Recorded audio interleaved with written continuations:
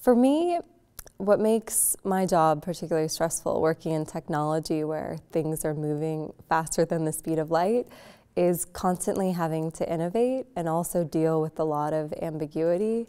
Um, and so when the expectations are extremely high and you're trying to navigate like what executives are looking for and what makes sense for the industry, uh, it's, it is stressful. How do you deal with stress?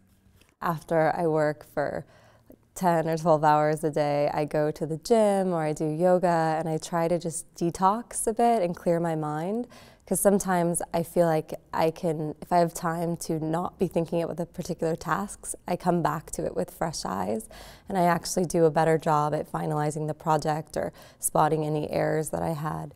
When you hear about other managers suffering from burnout, does it make you worry at all? Yeah, I think uh, especially lately, um, it's been stressful. The market's been kind of uh, inconsistent, and I know a lot of people are stressed, and it makes the environment at work more difficult.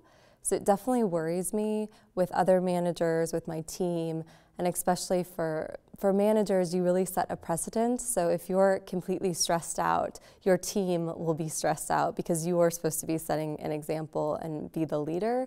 So definitely feel like stress is systemic and it spreads throughout the organization. When you're not at work, are you able to forget about work? I'm Getting better. I usually have my Blackberry or my iPhone turned on and I usually check emails during the weekends and I'm trying to shut off more, but it is hard because I work for a few of like the top level executives who may need my support on some tasks before you know Monday at 8 a.m. Especially it's for if it's for the U.S.